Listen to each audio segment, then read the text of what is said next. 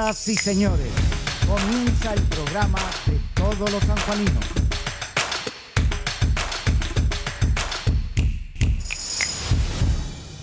Muy buenas noches a todos, bienvenidos a una nueva edición de La Ventana.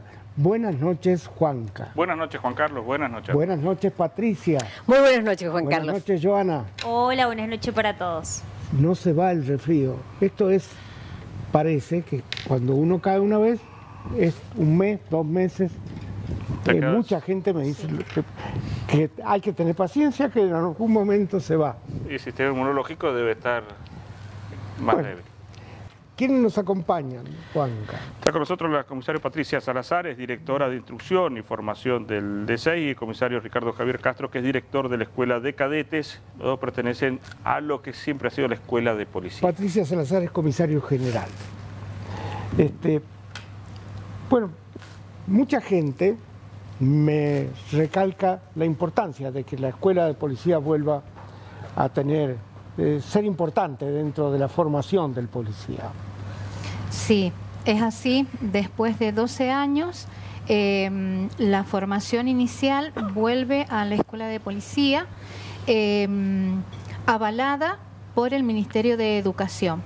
Es decir, la formación inicial vuelve a manos del Estado.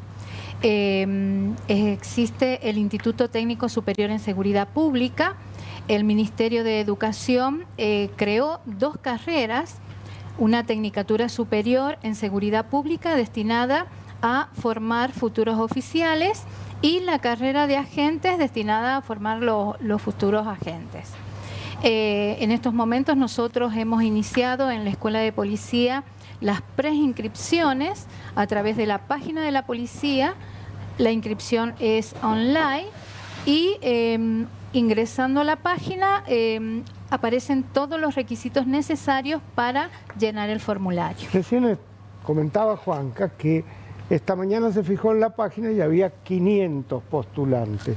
Claro, eso fue el lunes, el primer día, creo. Primer día. Ayer, sí. Ayer. ¿Y hoy cuántos están? Bueno, 1500, 1500, 1500. aproximadamente. O sea 500 que hay inscriptos. mucha gente interesada Muchos interesados. Sí. ¿Cuál es el cupo? Eh, nosotros habíamos dicho a la prensa en un primer momento que las inscripciones se iban a dar desde el día 10 de septiembre al 20. Pero al ver, este, al haber superado las expectativas que esperábamos, las inscripciones se van a cerrar este viernes. Eh, Pues- porque es evidente que al viernes vamos a tener alrededor de 3.000 personas inscriptas. ¿Y cómo van a manejar ese número? Seguramente va a ser un cupo. Claro, lo que pasa es que este, hay varias etapas que son eliminatorias. Eh, la primera etapa son los requisitos. En los requisitos tenemos que, bueno, tiene que ser mayor de 18 años y hasta 23 años ¿A 23 cumplidos. años para ser oficiales o Para ser- oficial. ser Para ser oficiales. oficial. No tiene que tener antecedentes ni contravencionales ni penales. Además, este, no deben tener tatuajes visibles, ¿sí? La estatura para el varón es 1,65 y para la mujer 1,60 m. Em, tienen que tener el título secundario al 31 de marzo. Ese vendría a ser el primer filtro. Y luego tenemos la etapa del examen teórico, el examen físico y después ya por el mes de marzo los que vayan a quedar para cursar son solamente a ellos a quienes se les va a pedir la cartilla sanitaria. En este primer momento no se les pide la cartilla sanitaria. Eh, hay dos cosas que, que se me ocurren. La primera, vivimos tiempos conflictivos. Sí. No es fácil estar en la calle y Sí. estar en la zona de conflicto, ¿no? Es así. O sea que la presencia física es importante. Me imagino que durante el En el transcurso proceso eso de se la evidencia. carrera. Sí, sí, sí, sí. Trabajamos durante los tres años que dura la carrera en la parte intelectual y la parte física de, de los alumnos. Claro que esta es la parte que a lo mejor no era Eh, como se esperaba. En ¿no? este primer eh, momento, en esta reapertura de la Escuela de Policía, nosotros contamos con un equipo este, interdisciplinario. Eh, un ejemplo, el alumno en su primer año ingresa con 65 de peso, en el transcurso de la carrera o se tiene que mantener en ese peso o tiene que ser menos, ¿sí? Por eso nos acompaña una nutricionista, este, ellos pasan jornada completa con nosotros, em, eh, los chicos de la cocina son profesionales, son chefs, em, entonces, em, además hay un acompañamiento eh, psicológico. Eh, todo eso en este momento está dentro de la escuela de policía, en esta reapertura. Sí, me imagino que eh, deben prepararlo para el uso de armas, este, psicológicamente, eh, la responsabilidad que implica eso. Dentro de las materias de, índole policial que trabajamos, está la materia de instrucción policial, arma y tiro, prácticas profesionalizantes y educación física y defensa personal. Defensa personal. Defensa personal también. Son las cuatro materias y está dentro de arma y tiro que en estos tres años trabajamos todo lo que es la, eh, en, esa materia en específico por la importancia que tiene. ¿no? ¿Y el suboficial cómo se forma? ¿También dentro de la escuela o aparte? También dentro de la escuela. Eh, en la escuela de suboficiales y agentes, doctor Antonino Averas, eh, doctor Narciso de la Prida. También va a pasar jornada completa en la escuela de suboficiales y en lo que es armitiro recibe la misma preparación no solamente en la formación inicial tenemos el tema de arma y tiro que se está fortaleciendo, sino que se ha implementado con esta nueva gestión que los policías en actividad han vuelto a la escuela a eh, realizar eh, reinstrucción en arma y tiro. Eso se está dando este, durante toda la semana a las distintas jerarquías. Me decía que dentro de lo que de la particularidad que tiene ser policía, es que tienen que tener contacto con la sociedad civil, con lo cual, eh, sobre todo en todo lo que tiene que ver con violencia de género, ha cambiado mucho en la forma de, tratar, pero a su vez eh, es un régimen verticalista, con lo cual eh, no pueden estar discutiendo cada decisión con los subalternos porque sería imposible manejarse y que eso muchas veces es lo que es más difícil que entiendan quienes ingresan a la carrera eh, que es una estructura en, donde las órdenes se dan y hay que acatarlas. En este primer año que, tenemos de cadete, eh, se trabaja mucho en los cuatro pilares básicos de la formación policial, que es la disciplina, la subordinación, el sentido de pertenencia y fundamental la vocación de servicio. Ellos tienen que entender que ingresan a una institución que es para servir a la sociedad. Bien, y como vos dices, una, una, institución verticalista. Entonces está la disciplina, la subordinación y se trabaja arduamente en este primer año, que es muchas veces el filtro, donde muchas, el chico se da cuenta que no es la carrera que él, pretendía y trabajamos todo eso porque estamos formando futuros conductores, porque eh, estamos formando oficiales. El tema vocación es fundamental. Fundamental. Si no se cae en situaciones como en cualquier, puede pasar en la sociedad de arquitectos o entre los abogados, pero en policía se nota más cuando no hay una vocación real, ¿no? Sí. Sí, sí.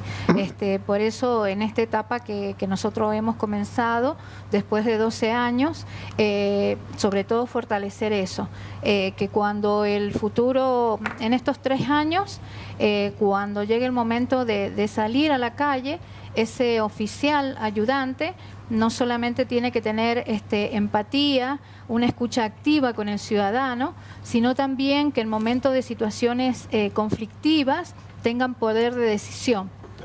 ¿Con qué título egresan? Eh, técnico superior en seguridad pública. Técnico superior. Sí. Eh, ¿Hay una licenciatura también?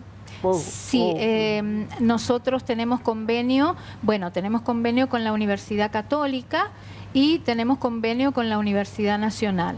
Este, em, tenemos eh, distintos títulos de grado donde varios, muchos policías sin distinción de jerarquía en estos momentos están cursando distintas carreras, distintas especializaciones también. ¿Qué cantidad? ¿Cuál es la relación hombre-mujeres entre quienes están hoy en la policía y en quienes se presentan? Eh, o sea, para los ingresos. Para los ingresos y en general la fuerza. ¿Cuánto está en actividad, por ejemplo? ¿Cuántas mujeres policías hay? Eh, generalmente eh, debe haber un 65% varones y un 35, mujeres. Y que ya están... Sí. Porque tienen, son chicos que salen de la escuela secundaria. Tienen los mismos problemas que el resto de los chicos que van a la universidad. el alcohol, las adicciones y por ahí que creerán que manejar un arma es tener autoritarismo. ¿Qué hacen con esos chicos? Fuera. Un, eh, desde el primer momento en que ingresan a cursar, eh, en esta etapa se les hace un seguimiento a lo largo de los tres años. El tema de drogas, este, nosotros eh, estamos en condiciones en- durante el año eh, llamarlos a sanidad policial para que les hagan el, el examen de drogas. Llegan a aparecer un fin de semana que estuvieron de franco y tienen un problema contravencional, un problema penal, quedan automáticamente fuera Claro. de la fuerza. En estos pilares que yo les comentaba, se trabaja mucho y hacer entender a los chicos que la, la carrera policial es una carrera muy particular, no es para cualquiera. Y no sé si en otras carreras la vida civil repercute tanto en la vida profesional. Entonces ellos tienen que entender que todo lo que hagan en la vida pública trasciende a la vida profesional. Lo que pasa es que ustedes son policías las 24 horas, más allá de que puedan estar en servicio determinada cantidad de horas. Sí. Pero capaz que ya salieron de trabajar durante la gran jornada y están en el ómnibus, camino a su casa y siguen siendo policías. siguen siendo policías las 24 horas del día. Las 24 horas. Por eso hace falta reforzar lo que hablábamos, la vocación. Y el que eh, nos encontramos con una realidad que muchas veces los chicos entran por una salida laboral. Entonces Claro. se trabaja mucho en, en lograr esa vocación que es necesaria para la, eh, la carrera policial en sí. Bueno, hoy en día hay en, en actividad creo que 6.000 efectivos en la policía. O sea que eh, hay una renovación anual a lo mejor de 200, 300 efectivos, ¿no? Sí. Si, si- si dura la carrera 25 años, Eh, sí, eh, hace poco han ingresado a la fuerza 195 funcionarios. Eh, deben haber sido 30 oficiales y el resto agentes.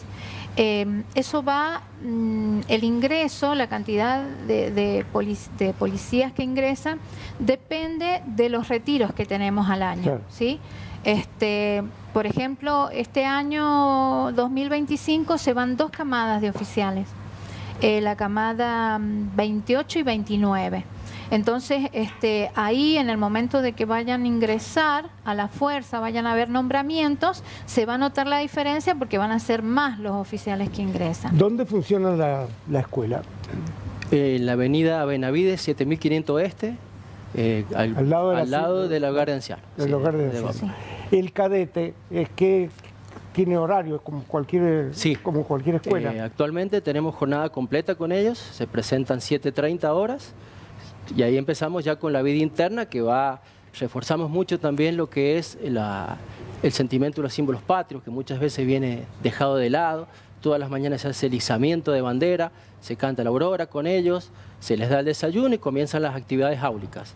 Hasta las 13.30 horas, ahí les damos el almuerzo y continuamos en la tarde son todas las actividades ya netamente de la formación policial, hasta las 17, 18 el, horas. el cadete, hasta que no egresa, no tiene ninguna relación con la policía o empieza a tener durante la carrera. Durante la carrera este, eh, hay en la parte de prácticas profesionalizantes, eh, realizan actividades en distintas dependencias y tienen acercamiento a la comunidad.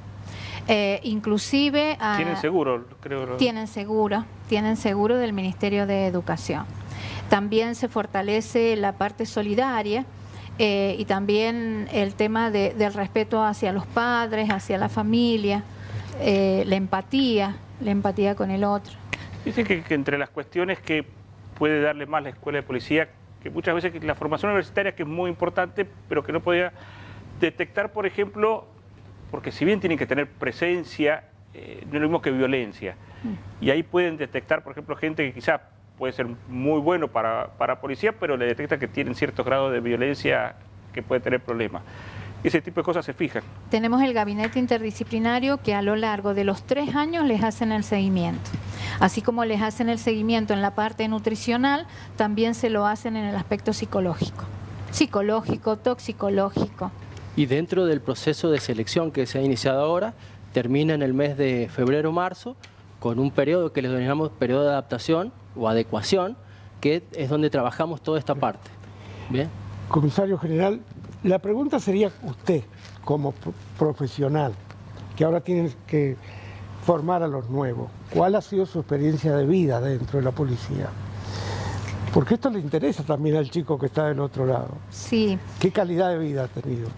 Em, yo siempre les digo a mis alumnos también que vengo del siglo pasado. Em, a mí me formaron allá por el año 1991 para ser policía.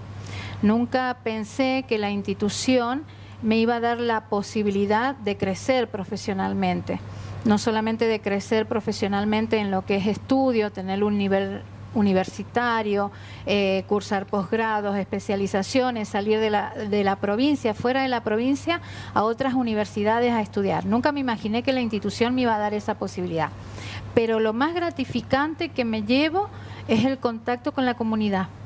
Este, la, eh, me tocó trabajar en comisarías, en, tránsito, en comisaría para la mujer, eh, y el contacto con la comunidad eh, y, el agradecimiento de, una persona que estuvo en un momento de una situación de vulnerabilidad, este, es lo más valioso que uno se lleva.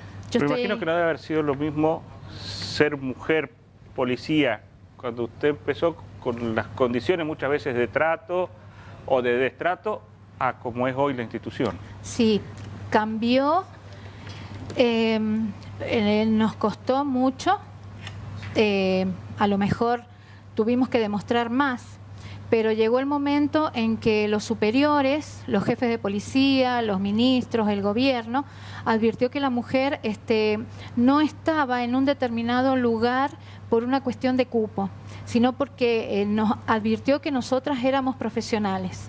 Y eso eh, nosotras, mujeres jefas de la institución policial, lo agradecemos porque nosotros no necesitamos un cupo. Nosotras somos profesionales, nos hemos preparado para estar en el lugar que estamos. Entonces, este, eh, cada nuestros superiores, la,